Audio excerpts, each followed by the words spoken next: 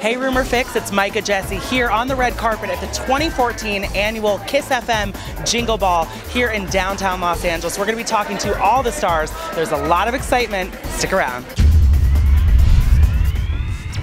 You look gorgeous. It's the Jingle Ball. I am so excited. Yeah. Uh, this is like probably my favorite event of the year. Also because it's like festive season. Right. But I mean, all of you know your favorite performers in one show. some of yours? There's Taylor Swift, Ariana Grande, Pharrell, Gwen Stefani. I mean, like literally everyone in Holly, everyone in music is here. Right. Um, I'm totally obsessed, and I'm I have a girl crush on Ariana Grande.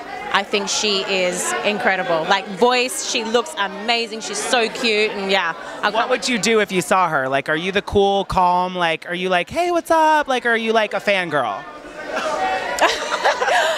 I'd probably try and act call, but then when I was really close, I'd be like, "Hey, can we get a selfie?"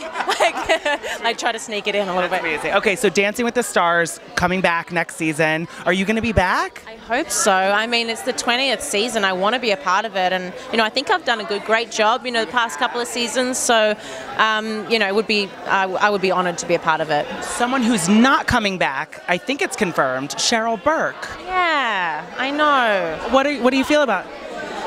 Uh, we're all going to miss her. I mean, she's like the baby of the show. Um, everyone on ABC just loves her, and uh, she's done such an amazing. I think she's done something like 18 seasons or something. I mean, nobody's done that. You know, and it is. It's a time to have a break. You know, she'll probably come back though. Yeah.